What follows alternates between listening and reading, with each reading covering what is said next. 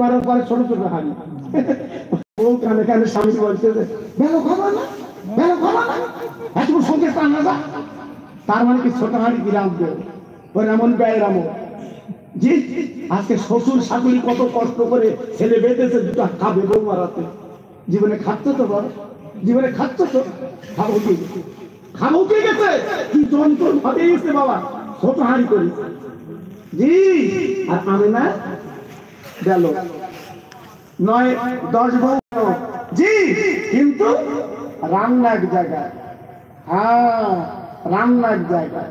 আব্দুল মোত্তালে বিচার করে দিল, আমার বড় বউ রাখবে পাঁচ দিন, মেজ বউ রাখবে পাঁচ দিন, সেজ বউ রাখবে পাঁচ দিন, ছোট বউ রাখবে পাঁচ দিন, সব ভাগ করে দিলে দশ জনকে। জি, নটা বউ যখন পাঁচ দিন করে রাঁধে ওরাই খুলে দেয়, সবাই খায়। কিন্তু আমেনা যদি রান্না করে রান্নার সঙ্গে সঙ্গে শ্বশুর শাশুড়ির জন্য আগে তরকারি তুলে আলাদা করে বাটিতে রাখে।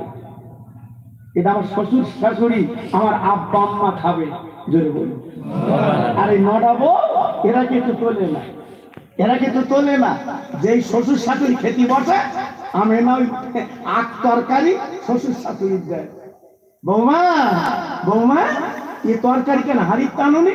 তো তাব্বু আমার বাড়ি মদিনায় আমাকে আপনার এনেছে আমার হাতে দুটো খাবেন বলে এই জন্য তরকারি তুলে আল্লাহ রাখি হ্যাঁ, হ্যাঁ, এইবার আপনার বসছেন আখ তরকারি আপনাদের দিচ্ছি। আচ্ছা বলুন ও বইয়ের উপরে মায়া হবে না? আরে কত বলো না সবাই বলো হয়নি বোঝা এই, ও বৌমার উপরে মায়া হবে না? হ্যাঁ আব্দুল মোত্তালেব নটা বলছে এই ছোট বইয়ের উপরে টান আলাদা। কেন বলো কি? আমি না শ্বশুর শাশুড়ির বিছানা সন্ধ্যার আগে আগে বিছকে দেয়। আমার আব্বা আম্মা সবে। কি বৌমা বাবা? আল্লাহ নবীর মা হবে তুই এনার কোয়ালিটি আলাদা। আমাদের বৌমা যদি বলো, বৌমা বৌমা, আমার আমার খাটটা খাটটাকে ঝেড়ে দাওনি? তো যে তোমার হাতে অবাস হয়েছে, তুমি ঝাড়তে পারো না। দেখেছ? বৌমার কথা দেখেছ? কি সুন্দর কথা। তোমার কলজি জ্বালা করবে হ্যাঁ? আর আমি না কি করে? ঝেড়ে দেয়। সুন্দর করে ছেড়ে দেয়। আব্বা যান, ভাই যান, না না না না না না।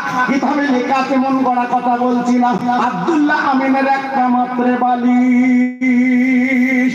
স্বামী স্ত্রী এক বালিশে মাথা দেয়। ও চাঁদার ভাইরা, ও